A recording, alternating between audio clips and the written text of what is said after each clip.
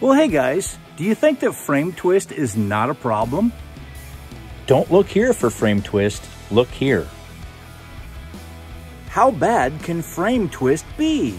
Frame twist can cause very serious structural issues between your truck and the habitat. It could lead to wrinkling or buckling of the habitat walls, broken windows or rim rack doors, delamination, and failure of attaching points. Is it easily solved or not? Most will do everything they possibly can to stiffen an already stiff suspension. This leads to tricycling. When all four tires are not touching the ground, it puts enormous stress on a habitat. People have come up with all kinds of ways to avoid tricycling due to the enormous stresses on the habitat and the frame, including spring devices.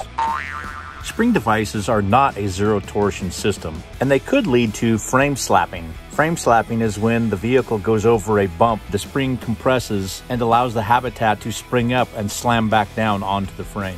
How do you solve frame twist? Ignore it? If you want a truly robust subframe, you need the zero torsion subframe system made by Globe GlobeTrekker. At Globe GlobeTrekker, we believe our engineers have solved this difficult dilemma with our zero torsion subframe that features redundant strength and security that protect against catastrophic failure. Its dual redundant system makes it an easy choice. And now you know the rest of the story. Stay tuned for further educational videos just like this one.